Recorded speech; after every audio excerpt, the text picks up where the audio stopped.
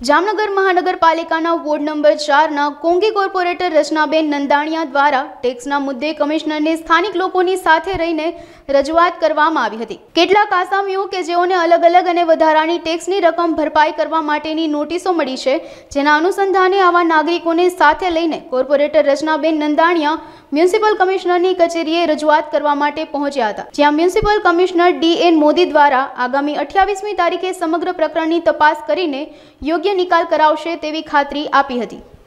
છેલ્લે જનરલ બોર્ડમાં બજેટમાં વ્યાજ માફીની વાત થઈ હતી કે સો ટકા વ્યાજ માફી છે.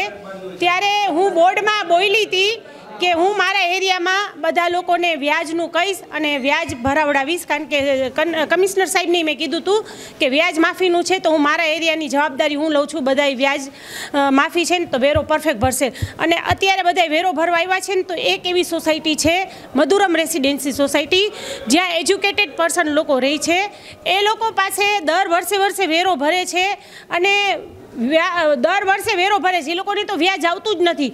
ઓચિંતાનો સડનલી એ લોકોને કોઈને પચાસ હજાર, કોઈને છવ્વીસ હજાર, કોઈને ત્રીસ હજાર, કોઈને અઠ્ઠાવન હજાર આ ટાઈપનો વેરો આવ્યો. હવે જે લોકો દર વર્ષે વેરો ભરતા હોય, એને આ ટાઈપનો વેરો કેમ આવે? તો એ લોકોને એમ કહેવામાં આવ્યું છે કે જ્યારે આ જગ્યા બિનખેતી થઈ અથવા જે બી જ્યારે બિલ્ડર બાંધકામ કરતો હશે એ ટાઈપના ઓપન પ્લોટનો વેરો આ લોકો પાસે લીધો છે. હવે એ બિલ્ડરે આ લોકોને ચાર ચાર જણાને અને કોર્પોરેશનને એમ કહેવાનું હોય કે આ ચાર જણાને ઘર લીધું છે અને આ ચાર જણાને ઓપન પ્લોટનો આટલો વેરો થાય એને ત્યારે જ બિલ્ડરે સમજાવવાનું હોય અને પછી મકાન સોંપવાનું હોય ને એક વકીલ વચ્ચે રાખવાનો હોય.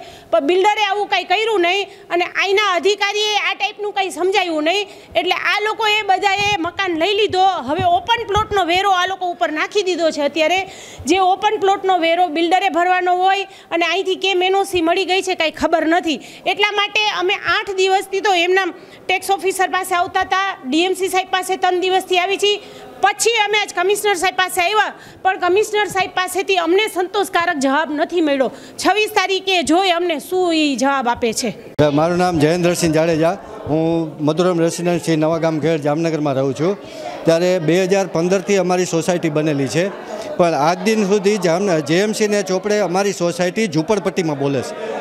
અને હવે એકદમથી મકાન ચડાવી અને બધો વેરો આપી દીધો. અત્યાર સુધી ખાલી ખુલ્લા પ્લોટનો વરો દેતા હતા. અને હવે એકદમ બધાને ન્યા સામાન્ય લોકો વસે છે. એવા કોઈ વ્યક્તિ નથી, કોઈ લેન્ડલોર્ડ સોસાયટી નથી. અને આવો વેરો ભરી શકે એવી કોઈ પોઝિશનય નથી. યા તો અમને આમાંથી જે કાંઈ હોય, અમને રાહત કરી દે. અને જે આજથી મકાન તમે ચડાવ્યા છે, તો અમને આજથી વેરો આપો ભાઈ. તમારું જૂની ભૂલ છે, બે હજાર પંદરથી સોસાયટી વૈસી છે ને હજી સુધી તમે ઝૂંપડપટ્ટી કરો છો. તો તમને નહીં ખબર હોય કે આ સોસાયટી જેએમસીને નહીં ખબર હોય કે આ સોસાયટી નવસો મકાન છે, પંદરસોનું અમારું મતદાન છે.